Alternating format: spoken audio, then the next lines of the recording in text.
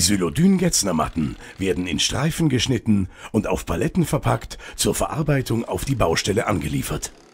Dank der unterschiedlichen Farbgebung sind die verschiedenen Sylodyn-Werkstofftypen auf einen Blick erkennbar. Entsprechend dem Verlegeplan werden jene Stellen, wo Sylodyn aufgeklebt werden soll, von den Zimmermännern mit Hilfe der Schlagschnur markiert. Nun beginnt die Verklebung von Sylodyn. Die auf die Wandbreite zugeschnittenen Streifen werden entsprechend dem Verlegeplan neben den Markierungen aufgelegt. Welcher Sylodyn-Typ an welcher Stelle des Bauwerks zum Einsatz kommt, wurde vorab von Statikern berechnet. Ausschlaggebend für die Materialwahl ist das jeweilige Belastungsmaß, das im Bauwerk zum Tragen kommt. Die Lager werden auf die entsprechende Länge zugeschnitten und exakt neben den markierten Stellen aufgelegt die abgetrennten Abschnitte können an anderen Stellen wieder verwendet werden, was den Verschnitt beinahe auf Null reduziert.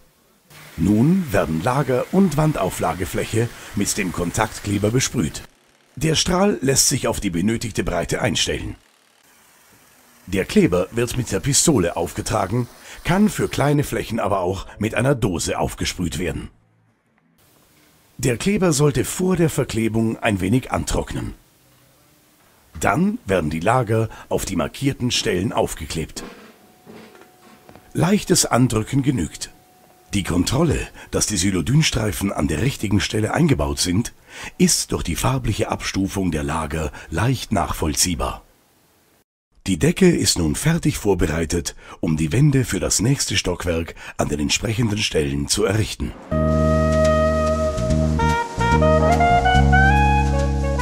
Getzner Wirtschaftliche Systemlösungen auf Basis von mehr als 40 Jahren Entwicklungs- und Projekterfahrung.